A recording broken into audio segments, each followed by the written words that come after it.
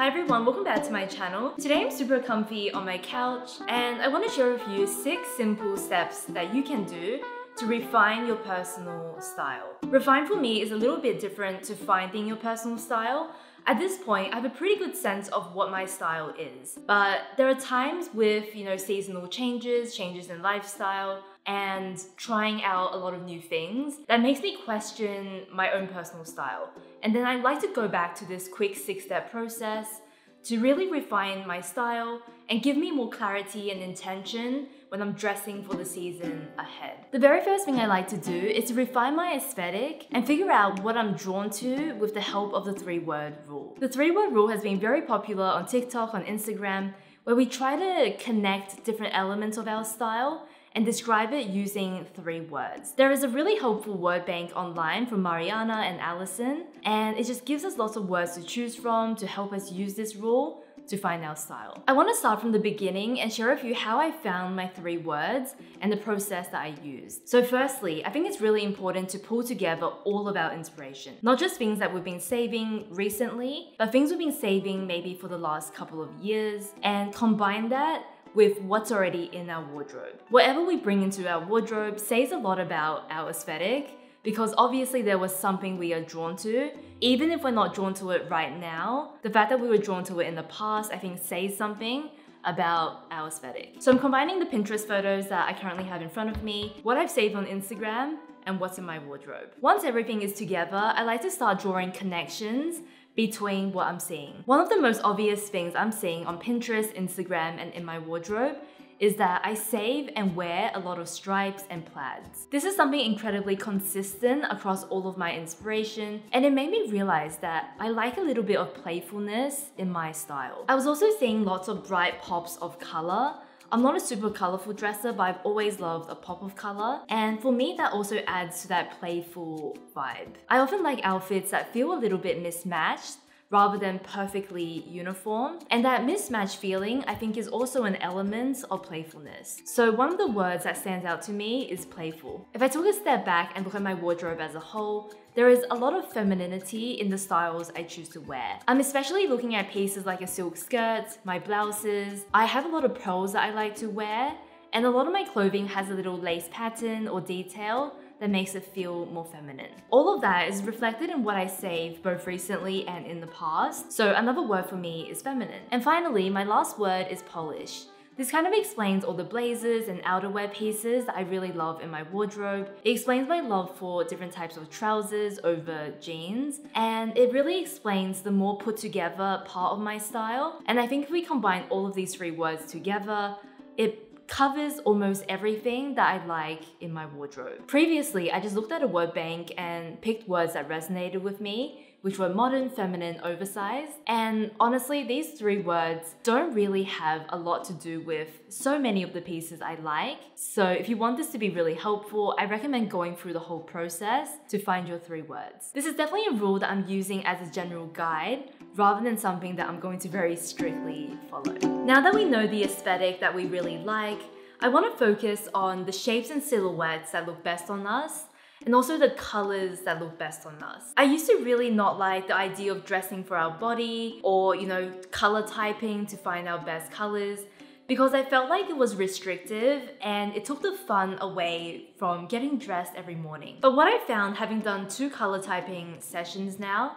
is that all of the results has actually opened up new ways of dressing for me and it's actually allowed me to experiment more rather than less. I'm going to use color as an example here, but the same thing applies for body shapes and clothing silhouettes. If you don't know what color typing is, there are a lot of different systems, but it's basically to figure out the undertones of your skin, and sometimes you'll use your features as well to work out what are the best colors on you. I recently did a color typing with Miriam Color, and she determined that I was warm and delicate. So there's not a lot of warmth that you can necessarily see when you look at me on my skin tone, but my undertone is still definitely warm. And taking into account my softer features, I don't have a lot of lines or angles, taking into account my darker hair color, eye color, um, and contrast, She determined that these are some of my best colors. What I really liked about her approach was how open it was. She said that if you're wearing a color that is not the best on you, you can always use your best colors to try and redeem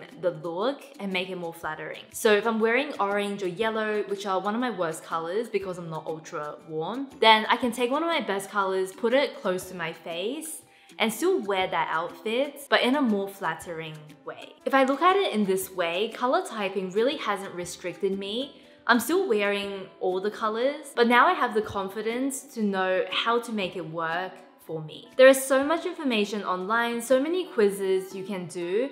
You can even do a bit of a draping test on yourself where you bring out different fabrics, hold it up against your face, and you kind of use cool fabrics and warm fabrics vibrant fabrics and more muted colors to determine what are your best colors. And I'm gonna link some resources down below so you can refer to them if you'd like to do this yourself. In step three, I'm just creating something a little bit more tangible. I'm making a mood board that includes the aesthetic I'm drawn to, the colors that work best for me, and just a reminder of some silhouettes I can always go back to. And if we combine all of these together, Whenever I don't know what to wear, I can refer back to this and still wear something that day that feels very true to my style. The idea of this mood board is that it's very, very personal to us because we not only have the three words that encompass pretty much everything we're inspired by, but we also have that additional layer of customization with our personal best colors, and personal favorite silhouettes. And whenever I don't know what to wear in the morning, I can refer back to this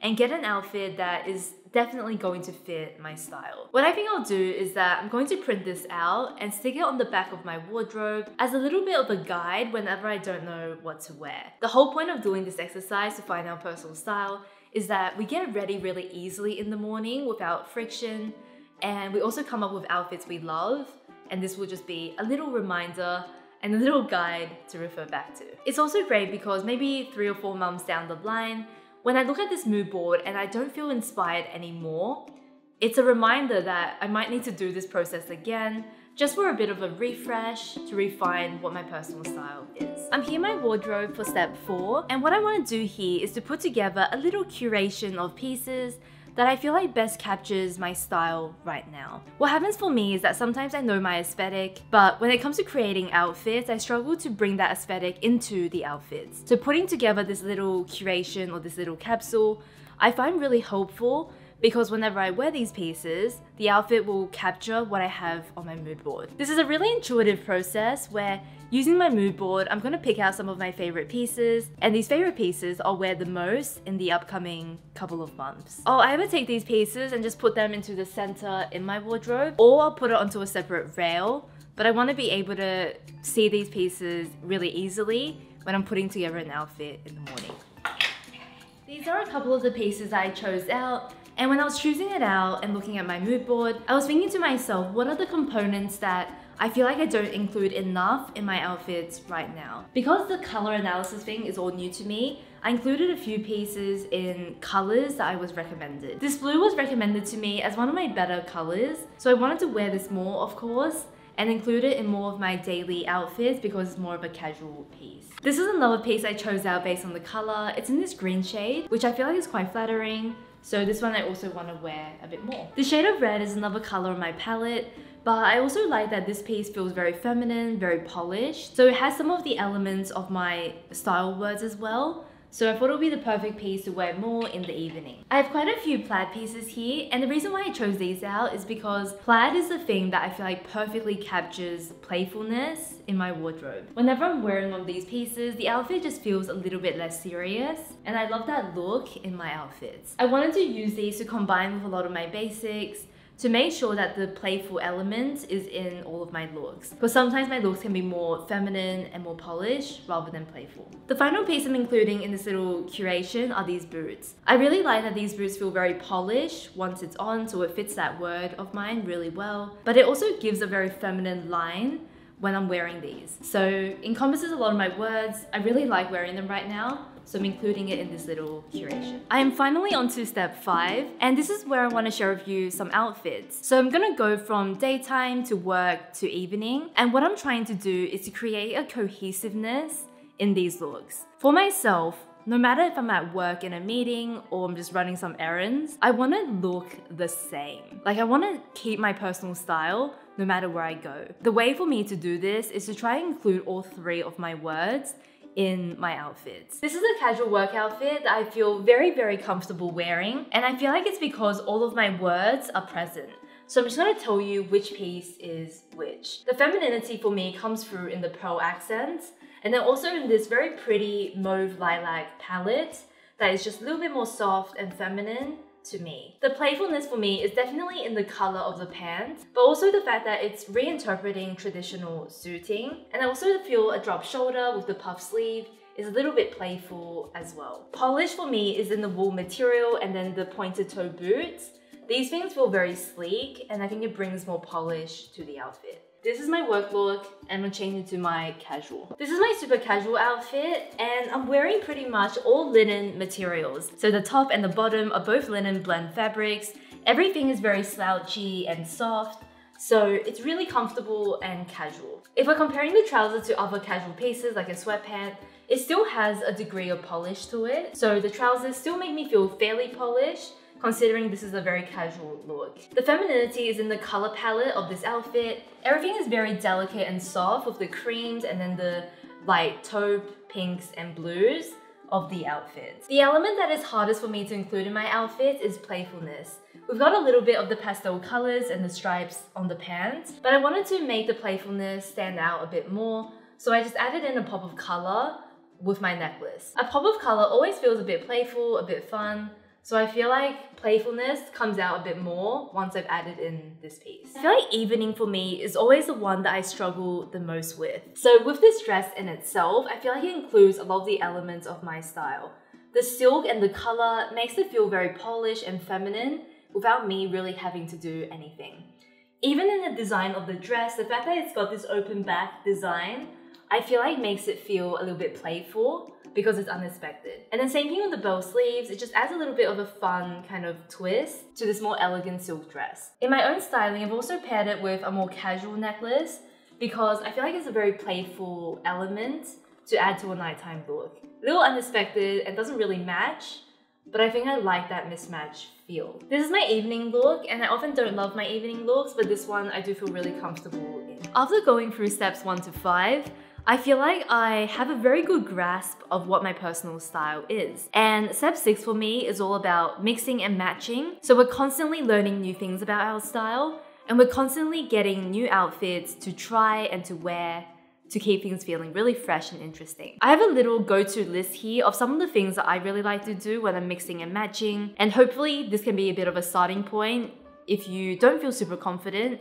mixing and matching in your wardrobe. We should definitely be referring to the mood board we created earlier, but one of the things that helps me mix and match is to constantly turn inspiration into outfits. I used to just look at outfits I like and then just pass over it, but ever since I started learning what I liked about outfits and recreating that, it's been the absolute game changer in coming up with new outfits to wear. I often see an outfit I love, I then try to pinpoint what I like about it, and then I recreate it in my wardrobe. I'll link to some of my Pinterest videos where I do this in a lot more detail, but it's not about recreating the whole look, but just a small section of what you were really drawn to. For more tangible ideas, if you want to experiment more, here are some things I think are good to start with. For color, I love to play with complementary color combinations and it doesn't always have to be super vibrant or bright. I love a light blue with a brown because they're on opposite sides. I love a blue and orange. I love a blue and yellow. But playing with colors on opposite sides is incredibly fun. And oftentimes, the looks are not even very dramatic. You can mix these colors in really subtle ways